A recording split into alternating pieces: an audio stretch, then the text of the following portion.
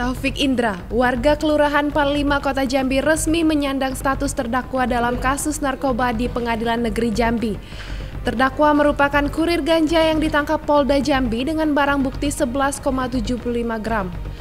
Dalam sidang Selasa sore, Jaksa Penuntut Umum Kejari Jambi Droniul Mubarok mendakwa Taufik melanggar pasal berlapis.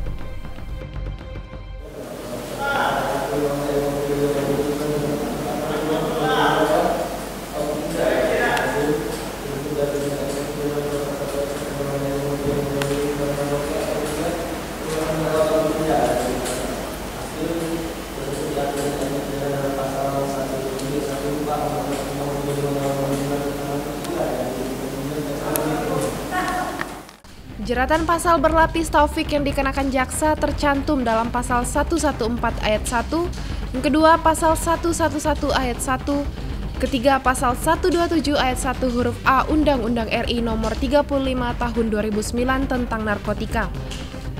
Setelah mendengarkan dakwaan, Hakim Arfan Yani memutuskan sidang dilanjutkan pada Selasa pekan depan langsung masuk pada pokok perkara pemeriksaan saksi dan barang bukti.